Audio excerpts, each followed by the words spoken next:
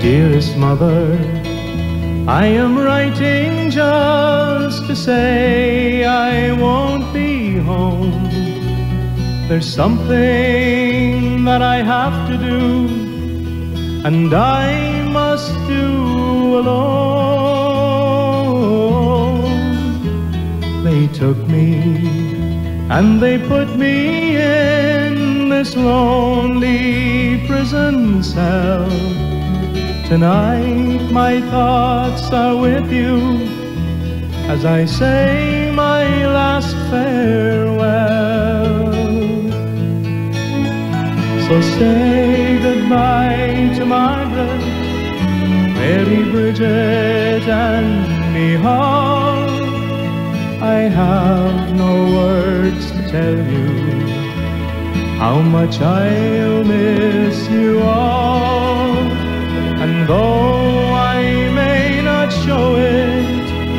You know I love you well. So in my final letter, I will bid my last farewell. Dearest brother, won't you take good care of all the folks for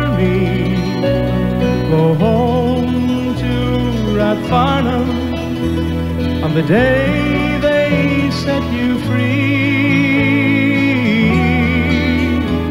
I was happy when you stood by me in all that we've been through.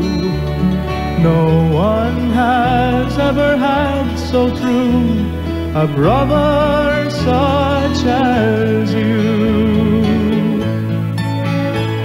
So say goodbye to Margaret, Mary Brigid, and me Hall.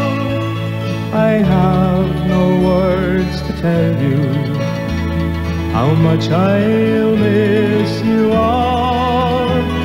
And though I may not show it, you know I love you well. So my final letter, I will bid my last farewell. Dearest mother, it's so very sad that now we have to part. To understand the reasons will trouble your poor heart. Told you since I was a boy, it was my destiny to die a true brave soldier so that one day you'd be free. So say goodbye to Margaret, Mary Brigid, and me Hall. I have no words to tell you how much I'll miss you all. And though I may not show it, you know I love you well. So in my final letter, I will bid